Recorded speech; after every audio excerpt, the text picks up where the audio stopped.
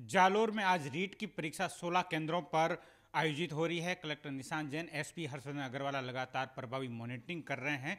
Police पूरी तरह alert है और नकल रोकथाम को लेकर लगातार पुलिस मॉनिटरिंग कर रही है। मेरे साथ खास बातचीत के लिए कलेक्टर और एसपी दोनों मौजूद हैं। उनसे खास बातचीत करते हैं। सर, किस तरीके की व्यवस्था की गई है? क्या क्या निर्देश दिए गए हैं अधिकारियों को?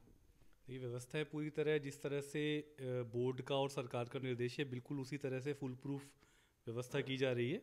और सभी जगह टाइम से पेपर पहुँचना सभी जगह केंद्रों पे एंट्री होना। जैसे अभी पहली शिफ्ट चल रही है तो वो सुचारू रूप से संपन्न हो रहा है।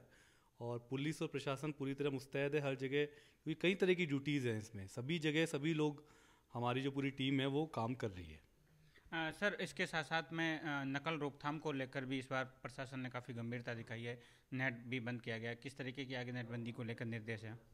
अभी जो वर्तमान में जो आदेश है संभागीय आयुक्त महोदय के यहाँ से जो आदेश आया है जालोर ज़िले में आठ सुबह छः बजे से शाम को छः बजे तक आज नेट बंद रहेगा। सोलह केंद्रों पर किस तरीके की नकल रोकथाम को लेकर अधिकारियों को लगाया गया है? पुलिस अलर्ट है पूरी तरह।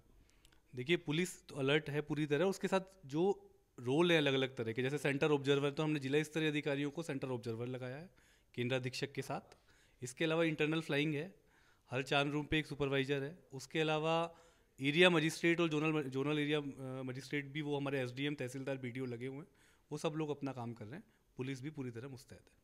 चार केंद्रों पर जो अंतिम समय में कुछ आंशिक बदलाव हुए अब किस तरीके के पूरी तरह परीक्षार्थियों को कोई परेशानी नहीं हो उसको लेकर पूरा ध्यान रखा गया?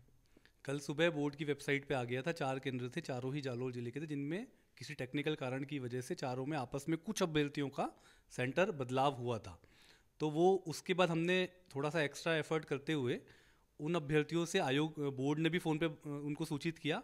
फिर भी कुछ ऐसे थे जिनसे बोर्ड से संपर्क नहीं हो पाया था। हम लोगों ने, हमारी टीम ने, हमारे सी साहब ने एक टीम लगा करके सबसे बात की और 19 ऐसे अभ्यर्थी निकले सुबह आज अर्ली मॉर्निंग जिन्होंने एडमिट कार्ड दोबारा डाउनलोड नहीं किया था, उन्हें सूचना नहीं मिल पाई होगी। तो वो हमारे पंचायत समिति में जो राजीव गांधी सेवा केंद्र है, उन्होंने व्यक्तिगत आके आई कार्ड अपना एडमिट कार्ड लिया और अभी सभी लोग जो है सुचारू रूप से चारों अपने अपने केंद्र पे पहुँच गए। एस भी मेरे साथ मौजूद हैं। दोनों पारियों में परीक्षा आयोजित की जा रही है। पुलिस अलर्ट पर है और इस बार ये विशेष तौर पर देखा गया है कि पहले ही लिस्ट जारी कर दी गई संदिग्धों की ताकि उन पर विशेष निगरानी रख सके। उसके साथ ही पुलिस पूरी तरह अलर्ट इसलिए भी है ताकि इस बार नकल की पूरी तरह रोकथाम हो सके। किस तरह के निर्देश दिए गए हैं? जैसे कि पहले की तैयारियों में हमने जो संदिग्ध व्यक्ति है वो पुराने चलान शुदा है, उनकी लिस्ट जारी कर दी थी, उन पे चेकिंग की जा रही थी और निगरानी अभी भी जारी है।